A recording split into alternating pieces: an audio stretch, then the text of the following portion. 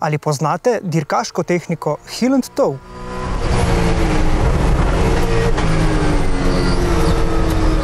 Torej, dirkaško tehniko prsti peta. No, ne gre za kakšen ples, pa čeprav tudi pri tem početju voznik potrebuje kar nekaj učinkovite koordinacije in mišičnega spomina. Sploh, ko gre za dirkaško vožnjo, ko se dogajanje odvija zelo hitro. In zakaj pravzaprav gre? Gre za vozniško tehniko, ki pride v poštev predvsem pri dirkaški vožnji z avtomobilom, ki ima ročni menjalnik. Ko moramo ob približevanju zavoju zmanjšati hitrost, to pomeni prestavljanje v nižjo prestavo.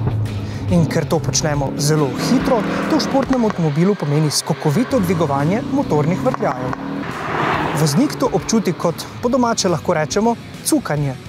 In to cukanje lahko vozilo, ki ga vozimo na limitu, spravi iz ravnotežja oziroma mu celo nevarno zmanjša stabilnost. Tako medtem, ko prsti naše desne noge močno zavirajo, peto potisnemo na stopalko za plin in z njo dvignemo vrtljaje, še preden ročica pade v nižjo prestavo. Takšno početje je primerno predvsem za dirkaško vožnjo, torej za dirkaško vožnjo na dirkališčih. No, razen če to namesto voznika opravi kar sam avto. Moram priznati, da že kar dolgo časa nisem testiral avtomobila z ročnim menjalnikom. In tale Focus ST je, lahko rečem, končno opremljen prav s takim. In elektronika tega avtomobila pametno poskrbi, da se ob prestavljanju navzdol vrtljaji motorja samodejno dvigujejo, to pa je zelo koristno tudi pri dinamični vožnji na odprti cesti. Če boste prestavljali hitreje oziroma bolj agresivno, bo na ta način tehnika precej manj trpela. No, vožnja pa bo prijetnejša tudi za sopotnike, ki med vožnjo še toliko bolj občutijo vse sile.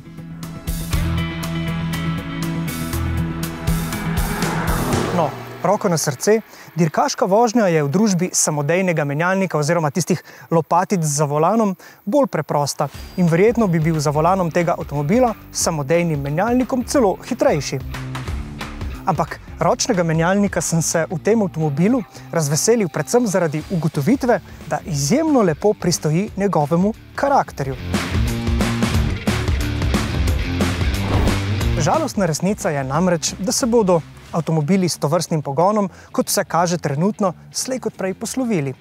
No in tako je Ford že napovedal, da bo šel tudi fokus po poti Fieste, torej odstopi bo svoj prostor električnim avtomobilom. In tako je ta strupeno zelen, rohneč ST že danes prava športna avtomobilska klasika.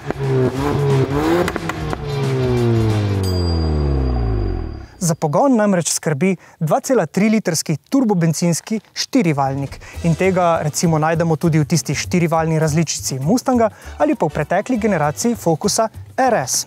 No in ker različice z oznako RS ni več, je prav ST odslej najbolj zmogljiv fokus v ponudbi. No in prav to je odslej zastavonoša Fordovega hot hatch oddelka, ki sta mu svojo priljubljenost med avtomobilskimi navdušenci zagotovila prav športna Fiesta in športni Focus.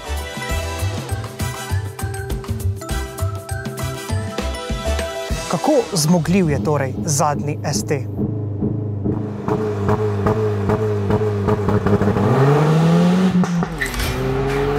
Če predstavljamo optimalno, se lahko z mesta do stotice poženemo v 5,7 sekunde, kar je nekako v rangu primerljivih avtomobilov. To je lažje s pomočjo sistema Launch Control, ki poskrbi za optimalno prenašanje moči na prednji kolesni par brez nezaželenega vrtenja v prazno. A v resnici še bolje kot pri pospeševanju se Focus ST odreže v zavojih. Ford je bil vedno znan po odlično nastavljenem podvozju že pri običajnih različicah svojih vozil. Športne pa to ugotovitev zacementirajo. Na tem zajetnem volanskem obroču najdemo zelo priročno tipko z velikim rdečim S. No in ta tipka takoj prestavi v športni način, kar nam pride zelo prav, ko se pred nami odpre kakšen atraktiven cestni odsek. Največja razlika, ki jo prinaša športni način, je predvsej bolj odzivno krmiljenje, kjer že najmanjši premik obroča pomeni veliko dogajanja. tedaj volan postane tudi precej trši. No, če si želimo še manj umešavanja elektronike, pa ST ponuja tudi dirkaški način race. In ta, verjamemo, da bo pri tem avtomobilu kar pogosto namenil. Razlog za to je tako imenovani track paket, ki prinaša ročno nastavljivo vzmetenje KV, velike brembo zavore in pa primerne pneumatike in je na voljo za slabe 4000 doplačila. Track paket je na voljo le z ročnim menjalnikom, kar je verjetno posledica dejstva, da Fordova samodejna tehnika pač težko prepriča prave track day navdušence. No, ročni menjalnik medtem pri prepričevanju ne bi smel imeti večjih težav, saj so hodi prestavne ročice kratki in natančni, prestavljanje v višjo prestavo pa spremlja tudi zvočna kolisa pokanja iz dveh zajetnih izpušnih celic. No, sami bi si želeli, da bi se dalo v teh športnih načinih izklopiti tisti dodaten zvok, ki prihaja iz zvočnika v potniški kabini.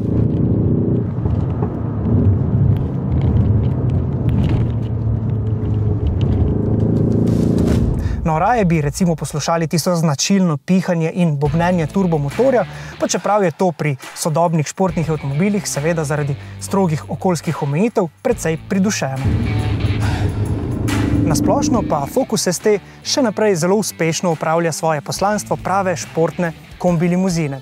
Torej, v šali rečeno, dirkaško predelanega nakupovalnega vozička, ki zmore ponuditi dirkaške užitke in obenem biti prvi avto, ki je primeren za vsakodnevne opravke. In z tega vidika je Focusovo vzmetenje kljub temu trek paketu povsem znosno. No, z njim boste seveda še nekoliko bolj občutili, kako kakovostne so slovenske ceste, ampak kljub samo hrbtenica ne bo preveč na udaru. No, pa tudi porabo goriva se da z umerjeno vožnjo nekoliko spustiti. No, nam je tako uspelo preudarno voziti s porabo goriva nekaj pod 8 litri na 100 prevoženih kilometrov. Konec koncev je to v prtljažniku, pa tudi v potniški kabini, z izjemo sedežev, ki nudijo precej več bočne opore, posem običajen fokus. No, in to velja tudi za njegovo zunanjost, ampak ne za zunanjost konkretno tega avtomobila. Ta fokus je zelen. Pa ne zelen in neko, ampak zelen in glasen.